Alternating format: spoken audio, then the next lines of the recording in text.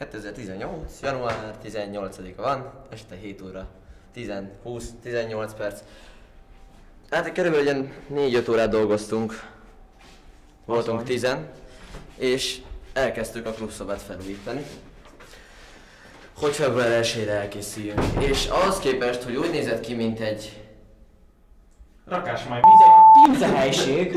Mint egy princehesség, hát most egy... nem láthatták. Nem, igen, nem Még nem. láthatták, igaz. Még nem. Még Még nem. Én láthatom. Jól néz ki. Én is látom. Az a lényeg... Megnéztem. De jó.